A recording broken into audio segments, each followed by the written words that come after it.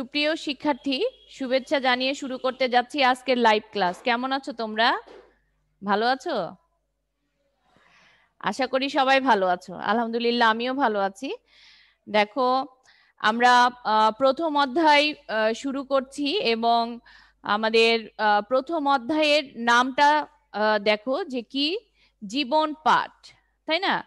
জীবন পাঠ, অর্থাৎ এখানে আমাদেরকে জীবন সম্পর্কে এখানে আমরা কি করব?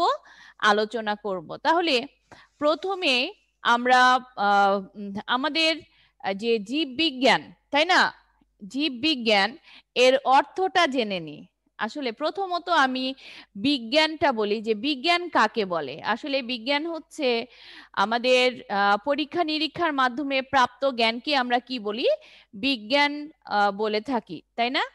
পরীক্ষা নিরীক্ষার মাধ্যমে প্রাপ্ত জ্ঞানকে আমরা বিজ্ঞান বলে থাকি। তোমরা ক্লাস ফাইভে সিক্সে পড়েছো ক্লাস ফাইভে আরও ছোট থেকে আমরা বিজ্ঞান শব্দের অর্থটা জানছি। এখন এই যে জীব বিজ্ঞান, তাই না?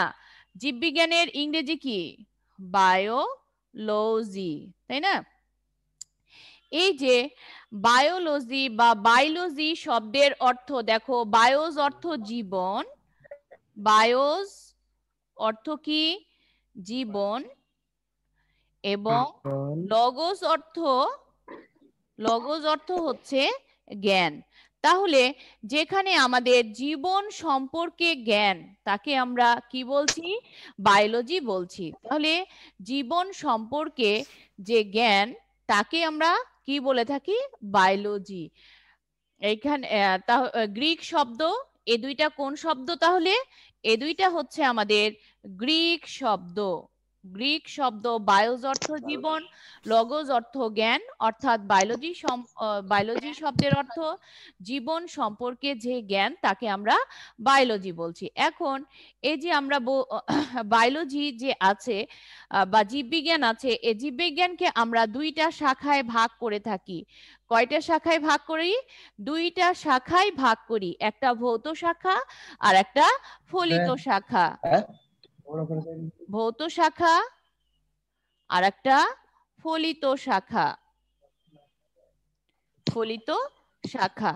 তাহলে মেনলি আমরা কোন শাখা আজকে আলোচনা করব বলো? আমরা আজকে আলোচনা করব হচ্ছে ভৌত শাখা। ভৌত শাখা নিয়ে আমাদের আজকে আলোচনা। এই যে দেখো আমি লিখেছি যে ভৌত জীববিজ্ঞান। তাহলে বায়োলজিকে আমরা কয়টা ভাগে ভাগ করলাম? দুইটা। ভাগে গুড বায়োলজিকে আমরা দুইটা ভাগে ভাগ করলাম একটা ভৌত শাখা একটা ফলিত শাখা। তাহলে এগুলোর আমরা একটু সংজ্ঞা জেনে নিই যে ভৌত শাখা কাকে বলে? জীববিজ্ঞানের যেখানে আমরা তাত্ত্বিক বিষয়গুলো নিয়ে আলোচনা করব সেটাকে আমরা বলছি ভৌত শাখা। অর্থাৎ যেটা তোমরা একটু মিউট করে দাও। ঠিক আছে? চুয়াল্লিশ রোল নিজাম হ্যাঁ? একটু মিউট করো। ফাতেমা মিউট করো। তাহলে তোমাদের যখন কথা বলা লাগবে আমার সঙ্গে, তখন তোমরা আনমিউট করো। মিউট করা থাকলে তোমাদেরই উপকার হবে, তোমরা ভালো শুনতে পাবে। ঠিক আছে? দেখো ভৌত শাখা, আমি বলছি কি, এখানে তাত্ত্বিক জ্ঞানগুলো নিয়ে আলোচনা করব। কোনটা? যেখানে আমাদের কি আছে? তাত্ত্বিক। এখানে তোমার ওই বিষয় সম্পর্কে। আর ফলিত শাখা, এখানে আমরা বলছি প্রায়োগিক শাখা। কি? প্রায়োগিক শাখা। প্রায়োগিক মানে হচ্ছে প্রয়োগমূলক। হ্যাঁ? প্রায়োগিক শাখা, যেখানে আমরা কি করছি? জীববিজ্ঞানের জ্ঞানকে কি করছি? কাজে লাগাচ্ছি। সেটা আমাদের প্রায়োগিক শাখা। প্রয়োগ করছ, তুমি তোমার দৈনন্দিন জীবনে প্রয়োগ করছ, সেটাকে আমরা বলছি প্রায়োগিক। তাহলে ফলিত শাখাকে আমরা তাত্ত্বিকের চেয়ে এখানে প্রয়োগমূলক কাজই বেশি হবে। আর এখানে আমাদের মৌলিক বিষয় মূল বিষয় বা তাত্ত্বিক বিষয়গুলো নিয়ে আমরা কি করব? ভৌত শাখায় আলোচনা করব। তোমরা একটা স্ক্রিনশট নিয়ে নিবা এখানে, এই ইয়েগুলোর, ঠিক আছে? দেখো বুঝতে পারছ? এই যে এখানে তোমরা, তোমাদের বই যারা পেয়েছ খুব ভালো কথা, যারা পাওনি, আমার এই যে বোর্ডে লেখা আছে জিনিসটা, তোমরা স্ক্রিনশট দিয়ে নাও। এখন দেখো প্রথমত আমরা বলছি মরফোলজি মরফোলজি ইংরেজি নামগুলো আমাদেরকে জানতে হবে। খুব কম সময় কি তোমাদের বাংলাগুলো দেয় তবে আমাদেরকে সায়েন্সের স্টুডেন্ট আমরা ইংরেজি টার্মগুলো শিখব মরফোলজি আমরা কাকে বলছি? জীববিজ্ঞানের যে শাখায় জীবের অঙ্গ সংস্থান নিয়ে আলোচনা করা হচ্ছে। অর্থাৎ তার অঙ্গের গঠন নিয়ে আলোচনা করা হচ্ছে।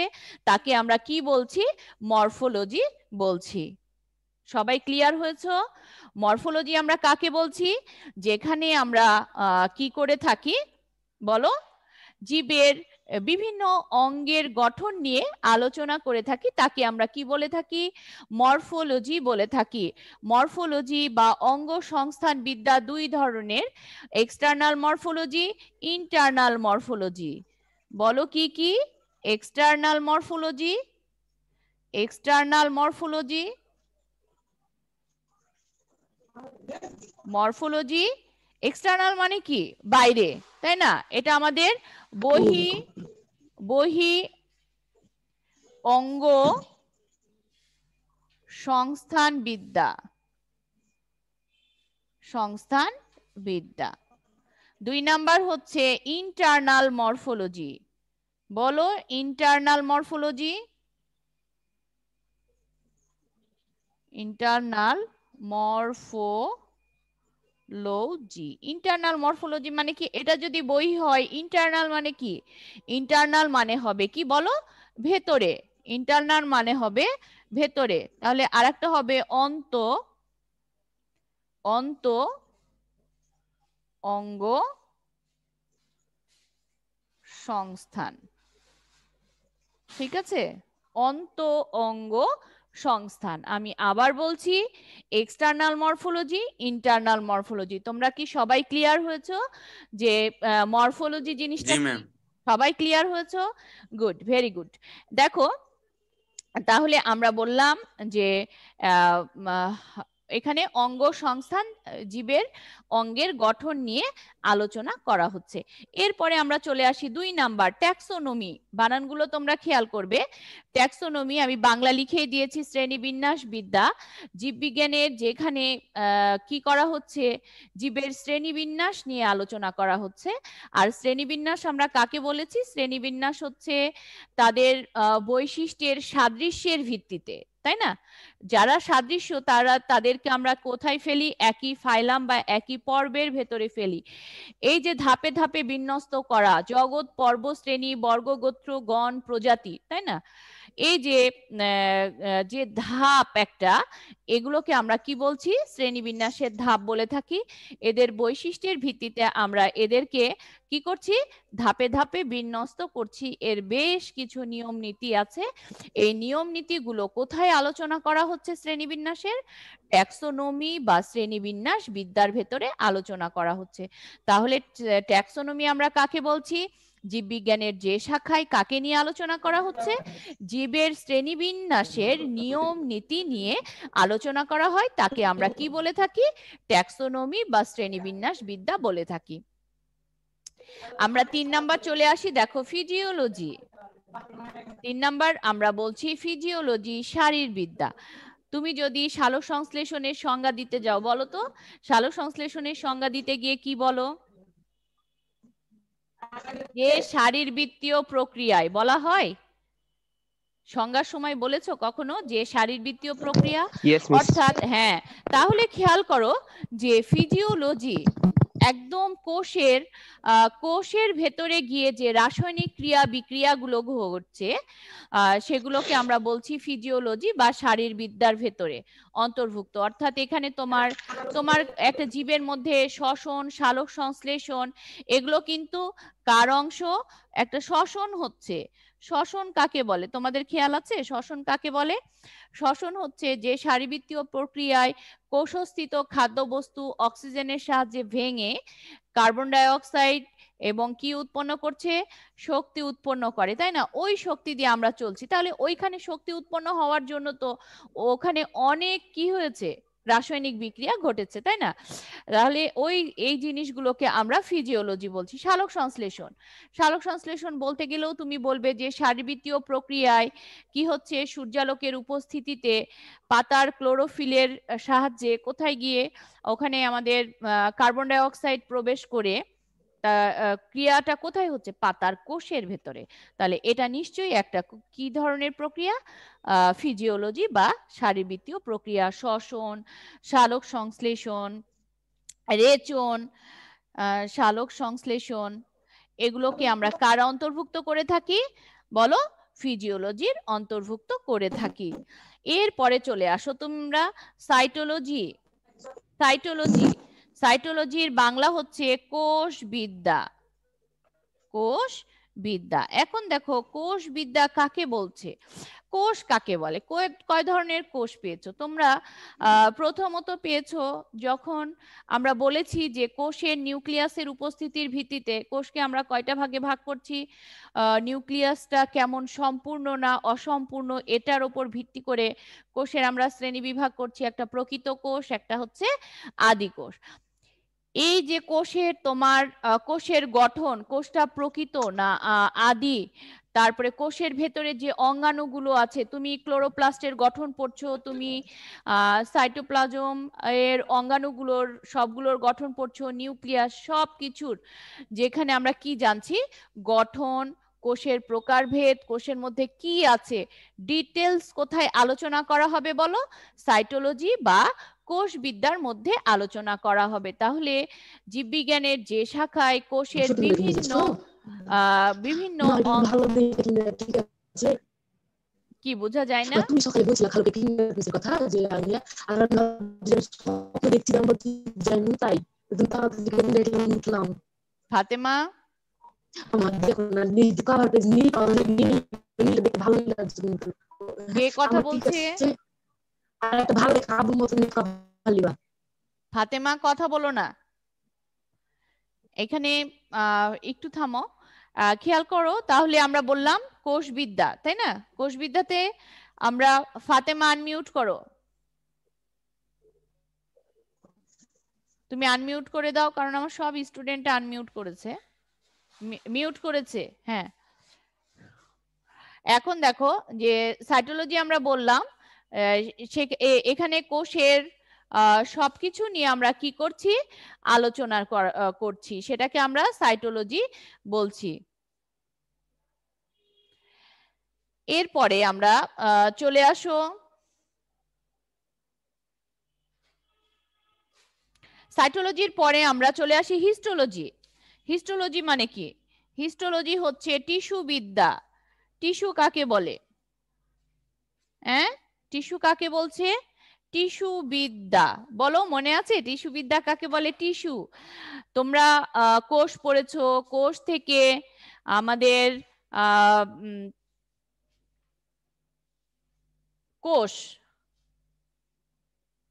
কোষ থেকে কি হয়? টিস্যু। টিস্যু থেকে টিস্যু তন্ত্র। টিস্যু তন্ত্র। টিস্যু তন্ত্র থেকে অঙ্গ। অঙ্গ থেকে অঙ্গতন্ত্র।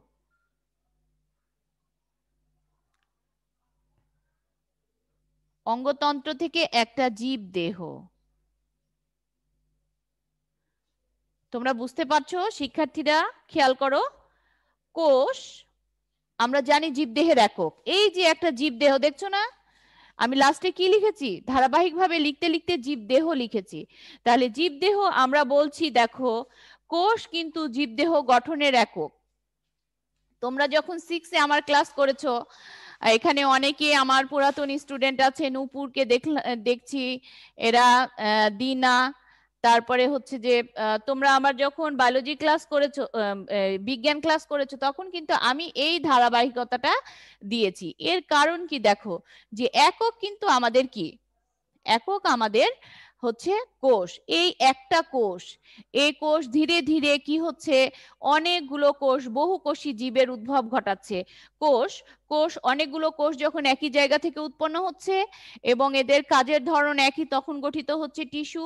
অনেকগুলো টিস্যু মিলে টিস্যু তন্ত্র, অনেকগুলো টিস্যু মিলে তোমার অঙ্গ গঠন করছে, তোমার চোখ একটা অঙ্গ, কান, নাক, এইভাবে। তারপরে তোমার অঙ্গতন্ত্র। অনেকগুলো অঙ্গ মিলে অঙ্গতন্ত্র গঠন করবে এবং অনেকগুলো তন্ত্র মিলে আমাদের কি হয়? জীবদেহ গঠিত হয়। তাহলে টিস্যু বিদ্যা আমরা কাকে বলছি? হিস্টোলজি কাকে বলছি?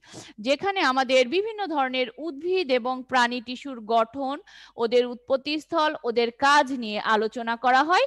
তাকে, তাদেরকে আমরা কি বলছি? হিস্টোলজি বলছি। হিস্টোলজি মানে টিস্যু বিদ্যা। টিস্যু বিদ্যায় কি করছে? উদ্ভিদ এবং প্রাণী। তোমরা উদ্ভিদ টিস্যু পাবে অনেকগুলো।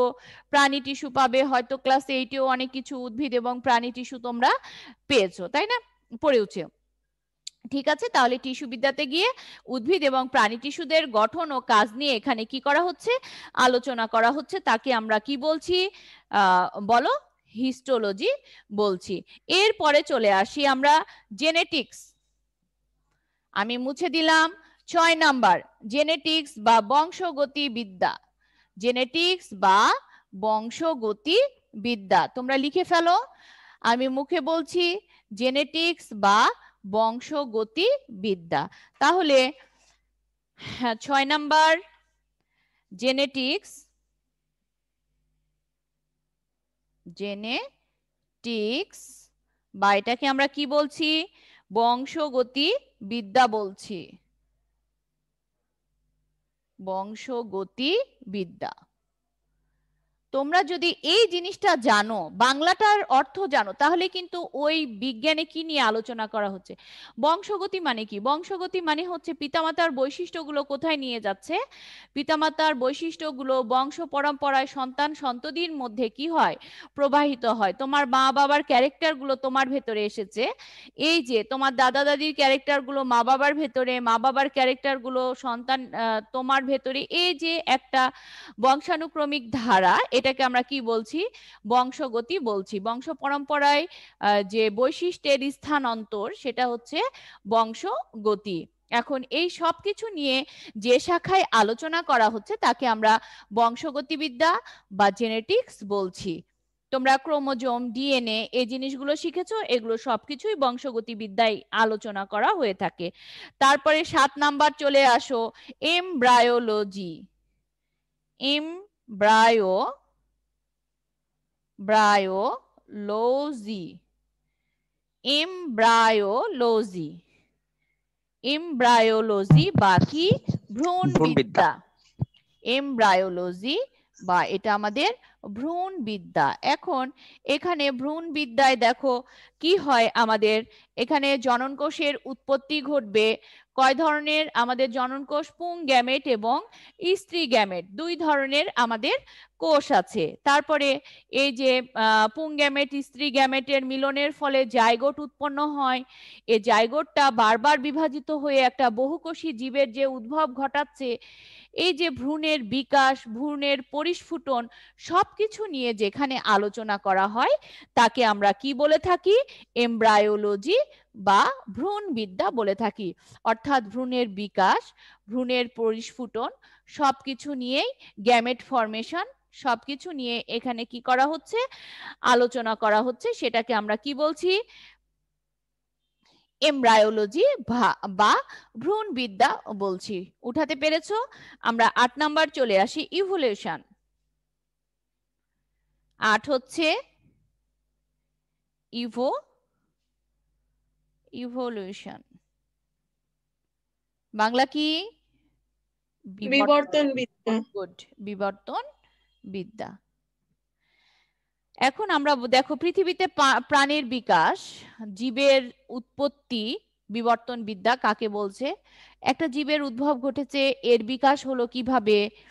তারপরে এর পৃথিবীতে টিকে থাকা এবং এর কীভাবে ধীরে ধীরে সরলতম জীব জটিলতম জীবের আবির্ভাব ঘটছে, এই সব কিছু যেখানে আলোচনা করা হচ্ছে, সেটাই হচ্ছে আমাদের ইভলিউশন বা বিবর্তন বিদ্যার অন্তর্ভুক্ত। তাহলে বিবর্তন বিদ্যায় তুমি কি নিয়ে আলোচনা করা হচ্ছে? পৃথিবীর পৃথিবীর সৃষ্টি, বিকাশ, জীবের ক্রমধারা সবকিছু নিয়ে জীববিজ্ঞানের যে শাখায় আলোচনা করা হয়, তাদেরকে আমরা কি বলে থাকি? তাদেরকে আমরা ইভলিউশন বা বিবর্তন বিদ্যা বলে থাকি। ক্লিয়ার হয়েছে তোমরা সবাই? বুঝতে পেরেছ? আট নাম্বার? জি মিস আচ্ছা তাহলে আমরা চলে যাই। আর একটা নয় নাম্বারে চলে যাই। ইকোলজি তোমাদের এটা সবার খুব পরিচিত। আর আমার মনে হয় যে ইকোলজি পড়তে পছন্দ করো না এমন কেউ নাই তাই না? ইকোলজি সবাই পড়তে পছন্দ করে। পুকুরের বাস্তু সংস্থান পড়েছো? নিশ্চয়ই ম্যাডাম পড়িয়েছেন। আচ্ছা শুধু পুকুরের না আমরা বাস্তু সংস্থানই পড়েছি। তাহলে ইকোলজির বাংলা হচ্ছে কি? বাস্তুবিদ্যা। বাস্তু সংস্থান হ্যাঁ বাস্তু বিদ্যা এই যে বাস্তুবিদ্যা আসলে পরিবেশ বিদ্যার সাথে সম্পর্কিত। এটা পরিবেশের উপাদান, একটা পরিবেশের মধ্যে কি থাকে? জড় উপাদান আছে, জীব উপাদান আছে, এই জড় উপাদানগুলো ছাড়া যে জীব উপাদান চলতে পারে না সব কিছু নিয়ে যেখানে আমরা আলোচনা করা হচ্ছে, সেটাকেই আমরা কি বলছি? ইকোলজি বা বাস্তুবিদ্যা বলছি। এখানে প্রাকৃতিক পরিবেশের সাথে জীবের একটা সম্পর্ক আছে।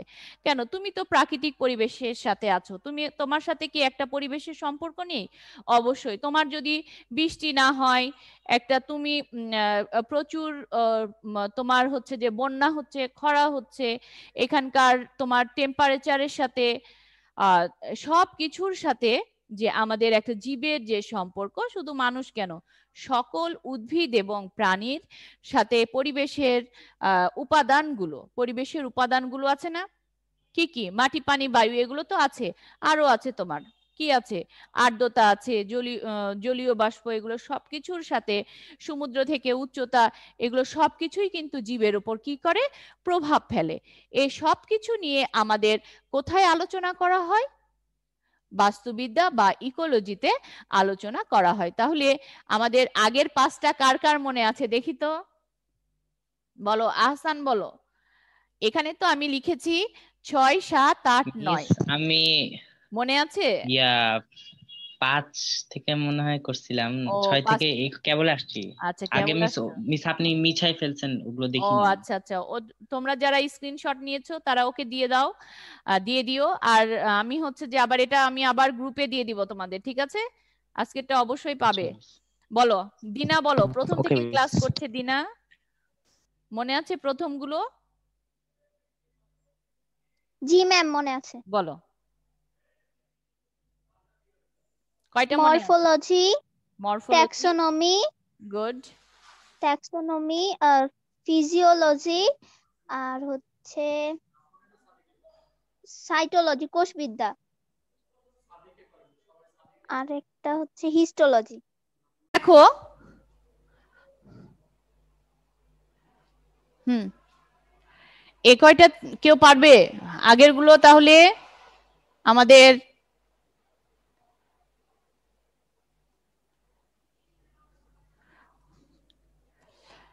জেনেটিক্স, আমরা বললাম বংশগতিবিদ্যা, এমব্রায়োলজি, ভ্রূণের বিকাশ, আর ইভলিউশন বিবর্তন বিদ্যা ইকোলজি হচ্ছে বাস্তুবিদ্যা। এরপরে আমরা চলে আসি, দেখো, আর নয় নাম্বার, এবার দশ নাম্বারে আমরা চলে আসি, এন্ড্রোকাইনোলজি।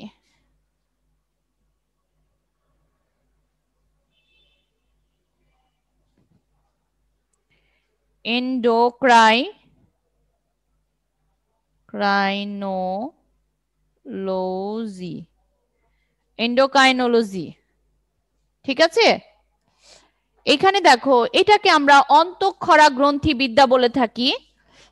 তোমাদের বইয়ের ভেতরে নাই, অন্তঃক্ষরা গ্রন্থি বিদ্যা এখানে মেনলি এই অন্তঃক্ষরা গ্রন্থি হরমোন কি করে থাকে? হরমোন নিঃসরণ করে থাকে। আমি আবার বলছি, দেখো যে জীববিজ্ঞানের যে এন্ড্রোকাইনোলজি, অন্তঃক্ষরা গ্রন্থি বিদ্যা এখানে অন্তঃক্ষরা গ্রন্থি আমরা কাকে বলছি? যে আমাদের দেহের মধ্যে এমন কতগুলো গ্রন্থি আছে যেখানে কি হয়? যেখানে আমাদের নালীহীন গ্রন্থি আমাদের দেহের হ্যাঁ? এ নালীহীন গ্রন্থি থেকে দেখো কোন কি নিঃসৃত হয়? হরমোন নিঃসৃত হয়। নালীহীন মানে এগুলোতে কোনো নালী থাকে না। এই হরমোন আমরা জানি যে রক্তের মাধ্যমে আমাদের দেহের মধ্যে কি হয়? প্রবাহিত হয়ে থাকে। তাহলে এন্ড্রোকাইনোলজিতে কি নিয়ে আলোচনা করা হচ্ছে? আমাদের দেহের নালীহীন গ্রন্থিগুলোর উৎপত্তি স্থল, তাদের সেই অন্তঃক্ষরা গ্রন্থিগুলো থেকে কোন ধরনের হরমোন নিঃসৃত হয়? সে হরমোনগুলো আমাদের দেহে কি ধরনের কাজ করে? সবকিছু নিয়ে যে বিদ্যায় আলোচনা করা হয়, সেটাকে আমরা কি বলে থাকি? এন্ড্রোকাইনোলজি বা অন্তঃক্ষরা গ্রন্থিবিদ্যা বলে থাকি। ঠিক আছে? এরপরে দেখো এগারো নাম্বার। বায়োজিওগ্রাফি বায়োজিওগ্রাফি, তাই না? শুনে বুঝতে পারছ তোমরা যে বায়োজিওগ্রাফি মানে বায়োলজির সাথে কিসের সম্পর্ক? বায়ো মানে জীবন, জিওগ্রাফি মানে আমরা কি জানি? বলো। জিওগ্রাফি মানে বলতে পারবে? জিওগ্রাফি, বায়োজিওগ্রাফি মানে এই যে জীবনের সাথে কি হচ্ছে? ভৌগোলিক সীমারেখা বা জীবের বিস্তৃতি, জীবের বিকাশ, সবকিছু একটা ভৌগোলিক সীমারেখার ওপর কি হচ্ছে? নির্ভর করছে। তুমি সব এলাকায় সব ধরনের উদ্ভিদ পাবে না, সব এলাকায় সব ধরনের প্রাণী পাবে না, কেন পাবে না বলো? এখানে আমরা কেন পাবো না? একটা পরিবেশের সাথে আবহাওয়া, জলবায়ুর সাথে কিন্তু উদ্ভিদ এবং প্রাণীর কি আছে? সম্পৃক্ততা আছে। এই যে আমরা একটু আগে যেটা বলেছি, বাস্তুবিদ্যা, তাই না? পরিবেশের সাথে বলেছি, জীবের সাথে পরিবেশের একটা কি আছে? সম্পর্ক আছে। এটা বায়োজিওগ্রাফির বাংলা হচ্ছে জীব ভূগোল। বায়োজিওগ্রাফির অংশ হচ্ছে জীব ভূগোল। তাহলে আমরা কি বলছি? আমাদের এর আগে পাঁচটা পড়েছি আর এখন পড়লাম আবার ছয়টা। দেখো, একটা জেনেটিক্স বংশগতিবিদ্যা এমব্রায়োনোলজি ভ্রূণবিদ্যা ইভলিউশন বিবর্তনবিদ্যা ইকোলজি বাস্তুবিদ্যা এন্ড্রোকাইনোলজি অন্তঃক্ষরা গ্রন্থিবিদ্যা, যেখানে হরমোন নিয়ে আলোচনা করা হয় বায়োজিওগ্রাফি জীবের সাথে, জীবের জীবনের সাথে বা জীবের বিকাশ, বিস্তৃতির সাথে ভৌগোলিক সীমারেখার যে আমরা একটা সম্পর্ক দেখি, সে বিষয়গুলো নিয়ে যেখানে আলোচনা করা হয় সেটা হচ্ছে বায়োজিওগ্রাফি বলো এখন কার কোথায় সমস্যা?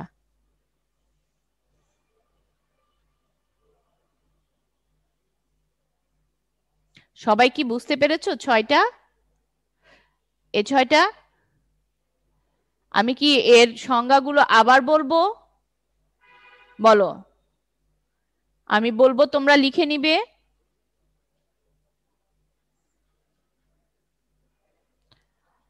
জেনেটিক্স, যেখানে কি নিয়ে আলোচনা করা হচ্ছে? জীবের বংশ পরম্পরায় জিন ও জীবের বংশগতির ধারা। কার কার? জিন ও জীবের বংশগতি ধারা। জীবের বংশগতির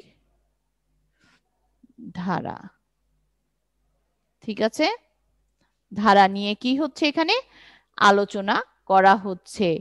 এমব্রায়োলজিতে দেখো, কি নিয়ে আলোচনা করা হয়? এমব্রায়োলজিতে জননকোষের উৎপত্তি জনন কোষের উৎপত্তি তারপরে নিষিক্ত জায়গোট থেকে ভ্রূণের সৃষ্টি নিষিক্ত জায়গোট থেকে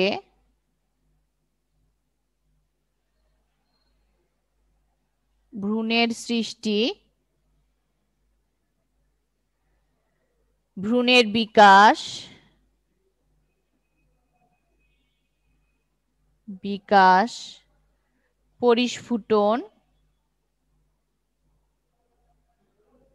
ফুটন, সবকিছু নিয়ে আমরা কি করব? আলোচনা করব। তাহলে তোমাদেরকে আমি এই এগারোটা, আমি ভৌত জীববিজ্ঞানের যে এগারোটা শাখা, সে এগারোটা শাখায় আমি কি করব? তোমাদেরকে আগামী দিন পড়া ধরবো। তাহলে তোমাদের পড়া কি? বলো। ভৌত জীববিজ্ঞানের শাখা। ভৌত জীববিজ্ঞানের এইচ ডাব্লিউ হচ্ছে ভৌত জীববিজ্ঞানের শাখা। এটা তোমাদের এইচ ডাব্লিউ, ঠিক আছে? তোমরা খুব ভালো করে পড়বে। আগামী দিন আমি তোমাদের পড়া ধরবো ঠিক আছে? তোমরা সবাই ভালো থাকো। তোমরা সবাই নিয়মিত পড়াশোনা করো। তোমরা তোমাদের স্বাস্থ্যবিধি মেনে চলো। যেহেতু এখন একটু শীত পড়ছে ওয়েদারও অতটা ভালো না। তোমরা বাসায় আছো, এর জন্য তোমরা কখনো মন খারাপ করবে না। তোমরা তোমাদের সময়গুলোকে প্রপার ইউটিলাইজ করবা। সময় নষ্ট একেবারেই করবে না। তোমরা যেহেতু এইট পড়া শেষ, আমরা তোমাদের যে নিউ নাইনের ক্লাস শুরু হয়েছে, এই ক্লাসগুলো তোমরা রেগুলার সুন্দরভাবে করতে থাকো। দেখো তোমাদের ভালো লাগবে। তোমরা সবাই ভালো থাকো মা বাবার কথা মতো চলো। আল্লাহ হাফেজ।